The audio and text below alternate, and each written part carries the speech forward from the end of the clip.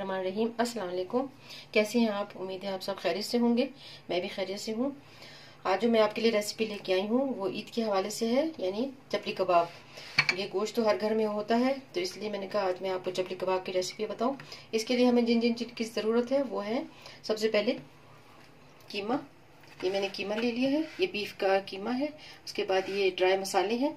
Dry मसालों में हमें चाहिए कुटा हुआ भुना हुआ जीरा कुटा हुआ भुना हुआ धनिया और गरम मसाला, सुरख मिर्च का पाउडर नमक, इसके बाद हरी मिर्ची, लहसुन अदरक का पेस्ट और धनिया, पुदीना प्याज, ये मैंने पीस ली है। इसकी अंडा, एक अंडा और बेसन। इन चीज़ों की हमें ज़रूरत है, इन चीज़ों को हम सब आप इसमें की में मिक्सअप कर लेंगे। इसके बाद थोड़ी देर इसके लिए आधा घंटा तकरीबन आप इसको फ्रिज में रख दें। उसके बाद आप इसके चपली कबाब फ्राई कर लें। ये कीमे में हम सबसे पहले ये प्याज शामिल कर देंगे। इसके बाद हम इसमें ये अंडा शामिल कर देंगे। इसके बाद ये सारे ड्राई मसाले शामिल कर देंगे। मसाले का पेस्ट हरी मिर्चें, ये शामिल कर देंगे।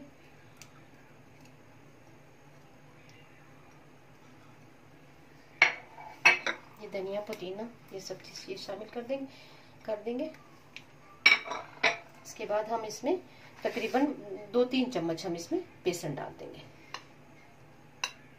तीन। अब हम इसको अपने ये सारे कीमे के मसाले डाल के, कीमे में अब हम इसको अच्छी तरह से मिक्सअप कर लेंगे।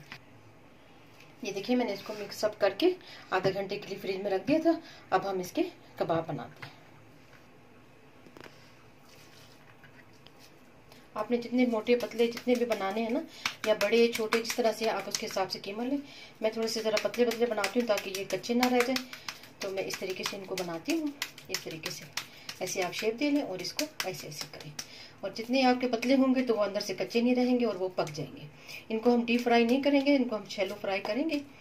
इस तरीके से आप सारे अपने कबाब बनाकर इसको ऐसे रख। लें ऐसे देखिए इस तरीके से। एक और मैं आपको बना के दिखा देती हूँ।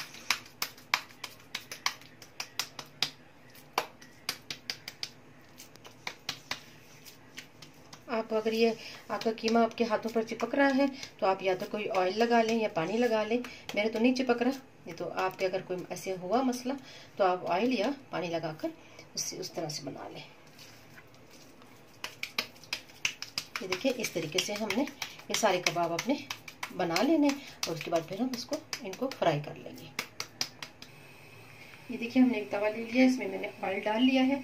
ऑयल थोड़ा सा हमारा अभी मीडियम गर्म है ज़्यादा गर्म नहीं है तो हम इसमें इसको इस तरीके से ऐसे डाल देंगे अपने कबाबों को तो हमने बना के रखें या साथ साथ बनाते जाए और साथ साथ डालते जाए